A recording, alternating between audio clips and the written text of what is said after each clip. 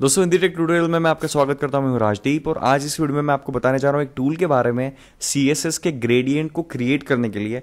तो इस टूल के ज़रिए आप ग्रेडियंट को क्रिएट कर सकते हो, आपको कोई कोडिंग करने की ज़रूरत नहीं है। लेकिन मैं आपको रिकमेंड करूँगा कि पहले आप कोडिंग करना सीखें कोड से ग्रेडियंट बनाना सीखें, क्योंकि अगर आपको कोई एडिशन करना हो और अगर आपने सिर्फ़ टूल से आपको आता हो ग्रेडियंट बनाना तो वो एडिशन करना और उसको मॉडिफाई करना मुश्किल हो जाता है। तो इसलिए आपको नॉर्मली यूँ भी बनाना आना चाहिए। तो दोस्तों, अगर आपने इस चैनल को सब्सक्राइब नहीं किया तो चैनल को सब्सक्राइब कीजिए और चलिए जल्दी से स्टार्ट करते हैं। तो गैस मुझे जाना होगा गूगल पर। और गूगल डॉट कॉम पर जाने के बाद मुझे सर्च करना होगा C S S three gradient C S S three gradient पे सर्च करने के बाद मुझे यहाँ पर ऑप्शन मिलेगा C S S gradient dot I O इस पर मुझे क्लिक करना होगा, ठीक है? तो यहाँ पर मेरे पास ये सी एस एस का जो ग्रेडियंट वाला पैनल है, वो यहाँ पर ओपन हो जाएगा। अब आपके पास क्या मिलता है? यहाँ पर ये दो बार्स मिलते हैं। तो इन बार्स को आप एडजस्ट करके इसका जो कलर है, उसको आप एडजस्ट कर सकते हो। तो मेरे पास यहाँ दो कलर है।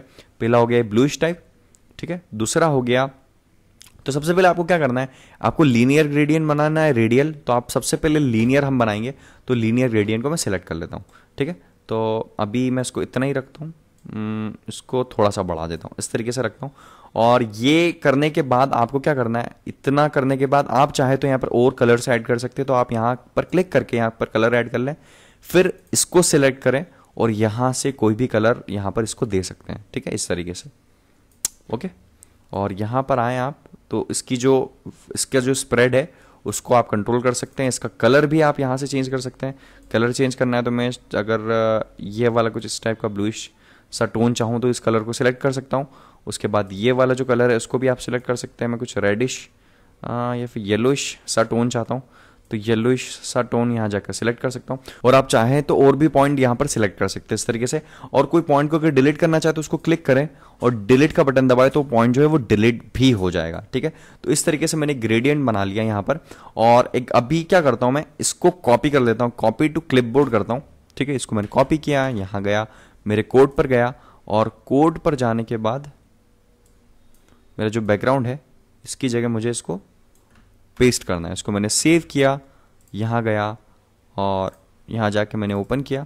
तो आप देखेंगे ये ग्रेडियंट है, खूबसूरत सा जो ग्रेडियंट है वो मुझे यहाँ मिल गया, बहुत ही अच्छे कलर्स दिख रहे हैं। अब हम इसमें और भी मॉडिफिकेशन जो है वो देखते हैं। और मॉडिफिकेशन क्या है? कलर कोड आप यहाँ पे डाल सकते हैं। आर जी बी और ए को सिलेक्ट कर सकते हैं। अब मान लो आपका ये पिंक कलर है, इसको मैंने सिलेक्ट किया। इसमें आप ट्रांसपेरेंसी बढ़ाना चाहते हैं तो इसको इस तरीके से आप ट्रांसपेरेंसी जो वो कम कर सकते हैं। तो आप देखेंगे ये ट्रांसपेरेंट हो गया एरिया और या फिर ट्रांसपेरेंसी को आप बढ़ा सकते हैं। तो जो हमारी अल्फ़ा चैनल है, उसको आप यहाँ से कंट्रोल कर सकते हैं। उसके बाद आपके पास यहाँ पर एंगल होता है।